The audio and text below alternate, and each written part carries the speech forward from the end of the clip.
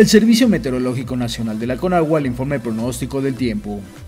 Este día la onda tropical número 15 y la zona de baja presión con probabilidad para desarrollo ciclónico asociada originarán lluvias de muy fuertes a puntuales intensas en los estados del occidente y sur del país, así como rachas fuertes de viento y oleaje elevado en las costas de Jalisco, Colima, Michoacán y Guerrero.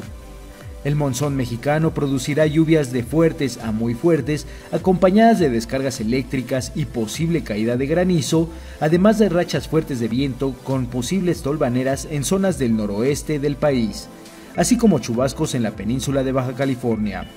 Por otra parte, un canal de baja presión extendido sobre el oriente y sureste del territorio nacional, aunado al ingreso de humedad del Océano Pacífico, Golfo de México y Mar Caribe, ocasionará lluvias de fuertes a muy fuertes acompañadas con descargas eléctricas y posible caída de granizo en el noreste, oriente, centro y sureste de la República Mexicana, incluido el Valle de México, además de la península de Yucatán,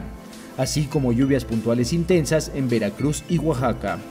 Finalmente se mantendrá el ambiente de caluroso a muy caluroso en gran parte del territorio mexicano,